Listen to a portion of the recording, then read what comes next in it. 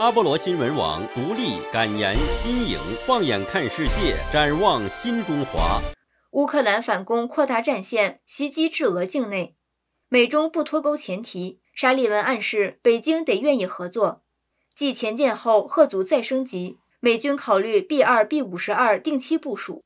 欢迎收看阿波罗网主频道热点直击。今天是美国时间四月三十号星期天，感谢您的支持。下面请看详细内容。乌克兰反攻扩大战线，袭击至俄境内。俄罗斯布良斯克州州长亚历山大·博格马兹三十号指控，几枚乌克兰导弹击中了距离俄乌边境约十公里的俄罗斯村庄苏泽姆卡村。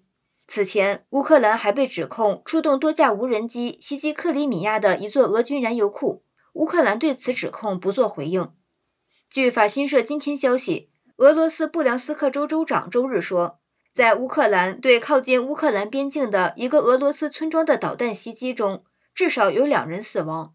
布良斯克州州长亚历山大·博格马兹在电报群说：“由于乌克兰人造成的打击，两名平民不幸丧生。”他报告说，一栋居民楼被完全摧毁，另外两栋房屋被部分摧毁。周五，俄罗斯的数枚巡航导弹袭击了乌克兰的几个城市，造成二十六人死亡。这是自三月初以来的第一次大规模袭击，而在周六，在乌克兰宣布春季攻势的准备工作基本完成后的一天，一次无人机袭击导致莫斯科在克里米亚的一个油库发生大火。据法新社稍早称，由俄罗斯占领的乌克兰南部新卡科夫卡市政府二十九号报告，该城市遭到乌克兰军方猛烈炮火攻击，电力遭到切断。由俄国扶持的新卡科夫卡市当局在社区媒体平台 Telegram 发文说，新卡科夫卡市和周边城市正在承受来自乌克兰武装部队非常猛烈的炮火攻击。新卡科夫卡市属于乌克兰南部赫松州受到俄罗斯控制的部分地区，位于俄军已经撤出的首府赫松市与第聂伯河上游。新卡科夫卡市在俄罗斯于二零二二年二月二十四号全面入侵乌克兰的第一天就落入俄军手中。市内有卡科夫卡水电大坝，是俄军发动攻击头几个小时内就拿下的战略目标。美中不脱钩前提，沙利文暗示北京得愿意合作。美国国家安全顾问杰克·沙利文周四表示。美国并不是要与中国脱钩，是想要降低风险。但他也指出，降低这种纠缠关系风险存在的复杂性，这也是公司和投资者现在面临的挑战。美中关系不断恶化，两国越来越多的从国家安全的角度来看待彼此的关系，针锋相对。中共最高领导人习近平多次强调国家安全。美国财政部长耶伦的最新对华演讲也提到，国家安全优先于经济。商界处于地缘政治关系的前沿。最新的美中商会调查显示，平均每十名会员中，近九名对美中关系前景表示悲观。在华盛顿特区布鲁金斯学会的一次活动中，沙利文强调，美国并不是在寻求与中国的对抗或冲突，但也暗示了对目前关系的不满。他说，管理竞争最终需要双方都愿意，需要一定程度的战略成熟度，即使我们在竞争中。也必须保持开放的沟通渠道。沙利文强调，美国无意切断与中国的贸易。他还引用了欧盟委员会主席冯德莱恩最近的说法：“我们赞成去风险和多样化，而不是脱钩。”沙利文还补充说，出口管制仍将狭义地集中在可能使军事平衡发生倾斜的技术上。我们只是在确保美国和盟国的技术不被用来对付我们。沙利文还引用了耶伦部长上周对华主题演讲的内容：美国可以捍卫自身的国家安全利益，有一个健康的经济竞争，并在可能的情况下跟中方一起合作，但中方必须愿意发挥自己的作用。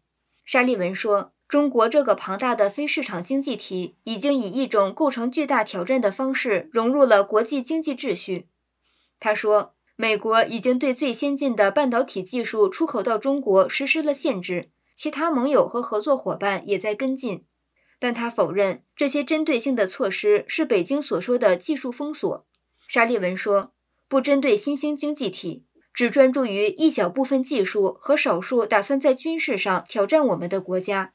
经济一体化并没有阻止中国在该地区扩大其军事野心，也没有阻止俄罗斯入侵其民主邻国。这两个国家都没有变得更加负责任或合作。他说，他还提到，在中国的经济体系中很难找到军用与民用之间的界限，因为共产党也掌控着私营企业。这就是拜登政府实施对外投资限制的原因之一。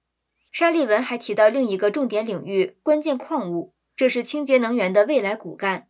中国加工了全球百分之八十的关键矿物，而美国仅生产全球百分之四的锂和百分之十三的钴，而且镍和石墨的供应是几乎没有。这些都是电动汽车需要的。沙利文说，美国也在考虑建立一个关键矿产俱乐部。这是一个与盟友一起进行矿产采购的买家俱乐部。沙利文也提及，美国将采取小院高墙来保护基础技术，确保下一代技术为民主和安全服务，而不是被用于作对。沙利文表示，美国的目标不是退回到自给自足，而是与盟友合作，打造更能抵御自然灾害、地缘政治冲击或来自中国等国的经济胁迫的供应链生态系统。继前舰后，贺组再升级，美军考虑 B 二、B 五十二定期部署。在美韩两国领袖联合发表华盛顿宣言，让美军战略核潜舰相隔四十年后将再度部署于朝鲜半岛后，美国空军高层二十七号表示，目前也正考虑要将战略轰炸机的部署常态化，进一步加强对朝鲜的贺阻力道。日经亚洲二十八号报道。美国太平洋空军司令维巴赫上将在二十七号接受专访时指出，目前正在研拟相关计划。他表示，相较于五年之前，朝鲜武器试射的成功率已有显著提升，代表其研发能力正在不断精进，因此造成的威胁日深。在四月中旬时，朝鲜官媒曾报道，军方进行了使用固态燃料的火星十八洲际弹道飞弹试射。维巴赫指出，这显示朝鲜已由液态燃料短程弹道飞弹的研发迈入更为先进的技术阶段。我们当然都看在眼里。因此，维巴赫表示，作为美军反制手段的一环，未来战略轰炸机在朝鲜半岛周边或半岛空域之内定期执行任务，甚至降落在朝鲜半岛都是可能的方案。且目前有部分任务已持续进行中，除了对朝鲜形成贺阻之外。B 五十二同温层堡垒与 B 二幽灵等具备挂载核武能力的战略资产降落在韩国基地，也能够对民众展现出美军打击能力。维巴赫也表示，在他的构想中，希望能够进行美日韩三方空中战力的联合演训，使美国与东北亚盟邦之间的行动默契能有效提升。虽然日韩之间仍有待解决的课题，但他认为。在我看来，没有任何问题能够阻止三国之间的合作。感谢您的支持、赞助和留言，请您订阅并传播我们的频道。